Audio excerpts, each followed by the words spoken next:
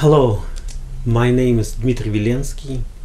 I'm member of Chto Delat Collective from St. Petersburg. And today in my talk, I would like to speak about our experience of our School of Engaged Art in St. Petersburg. So my talk will be structured in three parts and I would like to dedicate it to Marion von Osten who was my how to say informal teacher and by whom I learned a lot. She died last week. And first part uh, I call it forming unreformed and I would like to share my vision about situation with art education in Russia and especially give you background of that formal kind of academic structure which we actually have in Russia but let's see how it looks like so we have system of academies um, which has a genealogy from Tsarist time. Before revolution, it even called as Imperial Art Academies, mm, Императорская Академия Искусств. It's more like Royal Art Academies all over Europe, which has still the same name. And for a short period of time after revolution, mm, it was taken over by artists of Soviet avant-garde but already at the beginning of 30s uh, with Stalinism started purges and in established the doctrine of socialist realism. And then the whole academy kind of stagnated and well purified from any traces of modernism and avant-garde spirit. At the moment of perestroika for complexity of reasons the leader of so-called unofficial art in Soviet Union somehow failed to take over this institution, which was actually, like the back, quite serious problem for the whole development of art scene in Russia after perestroika. And it didn't happen like in most countries, as far as I know, in Eastern Bloc or Baltic Republic, it was quite quickly the power came from that conservative elite into new one. But in Russia, not. We can ask why, but the proper analysis of this process would run us far away when it really needs a serious talk why it happened. But briefly to say, First of all, it was quite an attractive fight to take over this institution. First of all, they were so badly financed, and actually, at this moment when Soros, Ford Foundation came to Russia, for many ex-unofficial artists was pretty much more easy to establish some their own institution or educational program and get proper paid but not take over the academies. Also demands a lot of kind of efforts and bureaucratic work which many artists were not ready to make.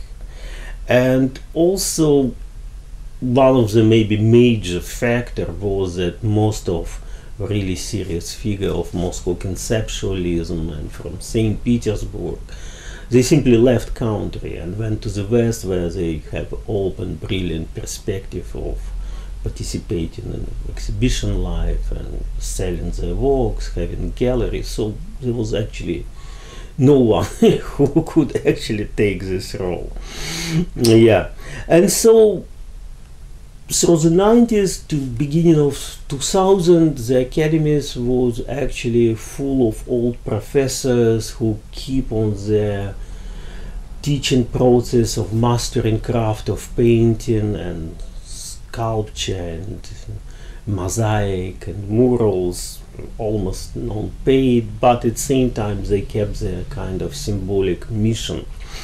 And um, also makes sense to mention that it was certain demand by young people, especially not only in St. Petersburg and Moscow, but in the province to come to this academy and actually learn this old craftsmanship. so, and because actually they believe in how to say in that kind of sacral genius character of artistic work and it gives them certain skills which help to earn some money and get some jobs. And funny to note that very quickly russian art academies became in demand of chinese students who came here to learn how to make fake paintings from realist to abstract ones and still up to 70% of our academy, academies are occupied by the students who pay serious money to learn this important profession. Right now with pandemic, uh, most of them go back to home and right now I imagine that there is a deep economic crisis in these academies without Chinese students.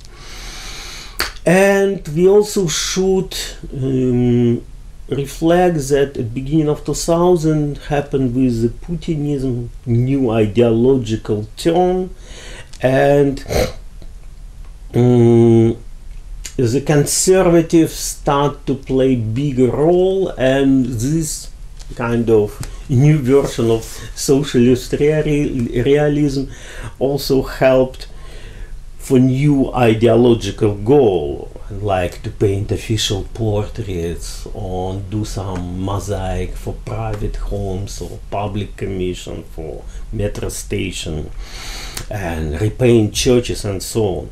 So our academic system has no interest for reforming and integrates the basic protocols of criticality, modernism and deschooling which is also intact with this general situation in Russia where we don't have much space for critical positions and different marginal or uh, oppositional voices are silenced and repressed. But at the same time, situation is not homogeneous, and new generation of young people who are coming from liberal families have deep have been demanding contemporary art and the new infrastructure for representation of contemporary art. And this system demands new artists which need to be taught and led into establishing few educational initiatives which are trying to close this gap. And they have already educated new generations of young artists who some of them quite present internationally, but not many. And they operate as experimental educational platforms, mostly established by artists who are committed to this mission. Of course, this initiative can hardly match the high standard of a proper academic education and training, but at the same time they can produce vibrant artistic communities and engaged public who together create a situation where contemporary art becomes popular and even, I would say, marginally fashionable, like in Moscow. So they're mostly in Moscow, but at the same time there are a few initiatives outside Moscow, like our ones, and yeah, as I mentioned, they really trying to bring quite highest uh, contemporary trends and international trends, and also very interesting that most of people who take this initiative like me so we are not educated we are not product of proper academic schooling once i was talked to claire bishop uh, who actually told me dmitry this schooling is not for you because you've never been properly schooled. And it's true. And this kind of living outside of that any type of normalization provides certain kind of freedom. Freedom to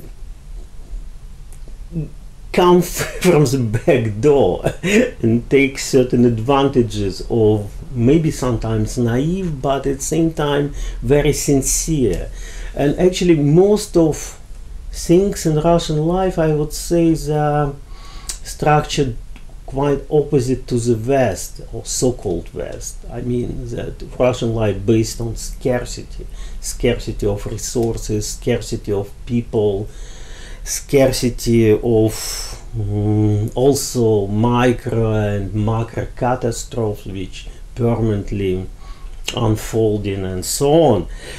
And yeah, it's very unproductive for normalized history as normal progress. And in my third part, I will criticize the idea of progress, especially now. But show us that quite exciting for making some breaks and some, I hope, serious experiments. So yeah, and through this, I hope we somehow manage to contribute to the general radical experiments and with permanent crisis of contemporary art. So this was part one. Second part on the history of school of engaged art, or to school or not to school. Our school exists already for seven years. We started in 2013 and it was very dramatic time you we immediately ran into a situation of war in Ukraine, annexation of Crimea, economic collapse and economic sanctions against Russia. So, and it also comes hand in hand with a growing repression and new repressive laws on social and political life in Russia and repression of opposition. So yeah, it was traumatic experience, and I would say that we, as an artist, as a collective, and personally, managed to survive through these years only because we have support of that growing community of the school with whom we shared our anxiety and our resistance. Looking back, I can say it was also a very exciting time, full of a kind of catastrophic revelation and adventures. Our school is not safe space, but it's a space where all participants, all participants are really care about each other as a comrades. And it's not about who is more talented or not talented. It's about developing certain human quality which allow you to live in dignity. We never ask an open call when we enroll people to the school to about proper portfolio. We only ask about their motivation. And we don't ask why they want to become artists. We ask them why art is important for them, why it's important for you, and what art can do for society in our desperate situation. So let's see this old, already historic short video reel, which include text of original school manifesto from 2013. Так а что, хорошо или плохо? вышли, смотрите, Франциско Осиский его дух не оставляет. Где, где, где, где? Ну ты сейчас А, рассказал про работу с да. голубями. Ну, Перед этим обсуждали монумент с голубями. а, ну у меня чуть сегодня одни голуби. Ну, я знаю, после чего у тебя голуби. После чего? После вчерашнего фильма. Про птиц. А, да. Глубоко, А. глубоко внедрились голуби. Внедрились. Не, у нас же на акции... А, голуби. мне Ася сегодня утром э, говорит, ты оценил, как мы голубей наводили? И когда там, на, ну мы там лекции слушали, они же там водили голубей за собой, поднимали их на сцену, потом гоняли, потом опять. Дети, Дети, дети. гоняли. Во время Румянцевском. перформанса. А, Они не гоняли их, они их водили. Они их водили и А, устраивали им пе- пер- эту, а экскурсию голубин, да. Перкуссию им устраивали. А, голубиный перформанс. Это черный квадрат. Да, да, да, кстати. Вот Это, кстати, интересно. Экскурсия для голубей. Экскурсия для голубей, это вообще радикально. Имени Франциска. Музей имени Франциска Ассиси. Когда такие голуби ходят, Да, да, да, да, да. Они так и ходят. а это Они дико, так и дико ходят. Если их вот так вот на это самое, на хлебушек взять, то так есть. Интересно, потому что мы сейчас обсуждаем кафе в духе Франциска Осийского. Здесь? То есть, да. да? Как как вариант, э, типа, сделать большого голубя или еще что-то такое, что связано Да. кормушку И кормушку, такую да. для реальных голубей, прикармливать их тут. Нет, Ну, нет, нет. кстати. Кормушка для Кафе это людей. и есть кормушка для А людей. голуби там могут прийти и Ну выпить да, что-нибудь конечно, нормальное. Организовано нормальное питание. Меню такое. Да. То есть здесь кормушка для Барное голубей, меню опять. здесь кормушка для людей, здесь кормушка для кормушек. Пьяный голуби валяется под столом. Какой-то охранник вечером говорит, ребята, давайте, вы хорошо провели время, теперь в кровать, давайте. Не, интересно, если кормушки будут везде стоять для всех, да? Голубей, вот, котов, для собак, люди. Слушайте, а вот это радикально, кстати. Потом по вечерам показывают для всех, для нас. Для всех, блин, для всех. Интересно, я понял, что фильм снять для голубя. А сняли новости уже про голубей. Нет, про голубя. Нет, для голубя. Такой червяк, танцующий червяк. Марина. Это сразу субъект-объект, знаешь. Да, она же сделала. Просто на открытии, на открытии сделать фуршет для всех из кормушек, расставить кормушки. Вот оно здесь уже организовывается. Большого голуби или еще что-то такое, что связано. Да. И кормушку И такую реальных голубей, прикармливать их тут. Нет, Ну, нет, нет. Кормушка для людей. кормушка для А людей. голуби там могут прийти Ну выпить да, что-нибудь конечно, нормальное. Организовано нормальное питание. здоровье. Меню такое. Да. То есть здесь кормушка Барное меню опять. здесь кормушка для людей, Пьяный голуби валяется под столом. Какой-то охранник вечером говорит, ребята, давайте, вы хорошо провели время, теперь в кровать, давайте. Не, интересно, если кормушки будут везде стоять для всех, да? Голубей, А, вот, котов, собак. собак, люди. Слушайте, а вот это радикально, кстати. По вечерам показывают для всех, для нас. Для всех, блин, для всех. Интересно, я понял, что фильм снять для голубя. А сняли новости уже про голубей. Нет, про голубя. Нет, для голубя. Такой червяк, танцующий червяк. О, Марина. Это сразу субъект-объект, знаешь. Да, она же сделала. Просто на открытии, на открытии сделать фуршет для всех из кормушек, расставить кормушки. Вот оно здесь уже организовывается. Классная идея, мне очень нравится. Очень хороший. Как-то развивается. Не, я думаю, там пойдет. На самом деле, обычно прорыв идет там за не- дней за пять, когда вдруг все это... А потом, когда сядем, мы будем обсуждать, как... Part number three Art Education in Limbo Learning with the Virus. There was a chance that art could celebrate the pandemic as a unique chance to get rid of stability and jump into unknown. As many people did say, the pandemic just accelerated certain tendencies which were already here. But despite our endless courses on post and non human agency, deep ecology, and so on, it happened that education, and in particular art education, was not prepared at all for this serious assault. Art academies cut off access to the studios for their students.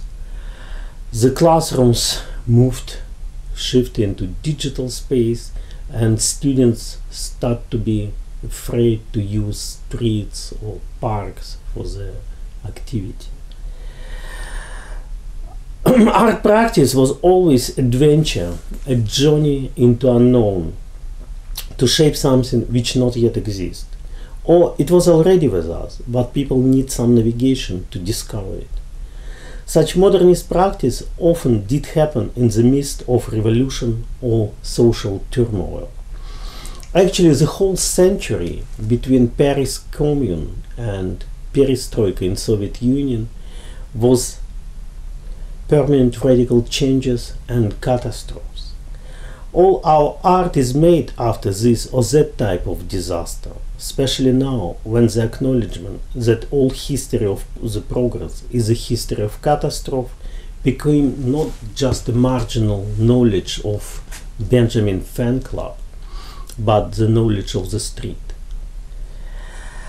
But with the virus, we stay perplexed and lost in many possible ways, with a growing feeling that there is no way back to normality, which we have so much criticized before pandemic, And this situation seriously and dramatically challenged our education system from elementary school to the universities. What is the community of learners would means nowadays? The situation is overcomplicated because we face all-round crisis. It's not just about pandemic with its unresolved and tragic circumstances. Most likely we have been entering a series of catastrophic situations which provoked by human activity, but the novelty is that now they are developing with intervention of so-called non-human agents. It can be COVID or new viruses, and of course the serious danger of climate change with completely unpredictable interference in our everyday life. So this situation sending us kind of a signals which we can't recognize and decipher because we lost our system of usual coordinates. It comes together with a growing psychological crisis when our classrooms are transforming into healing rooms of spaces of personal and collective therapy. The psychological damage, especially for young generation, is already enormous. I, we feel it in our school and through the talks with other pedagogues and teachers. So it's real problem which we face and it's one of the urgent ones. Also the gaps, the mental state of different generations is rapidly growing. The so-called boomer-zoomer crisis interfere dramatically into that kind of type of intergenerational education model. This changes an economic disaster, which definitely creates the redistribution of funds for artistic activity and obviously lead into its scarcity and growing competition, also demands a serious transformation of the whole idea of what art should be.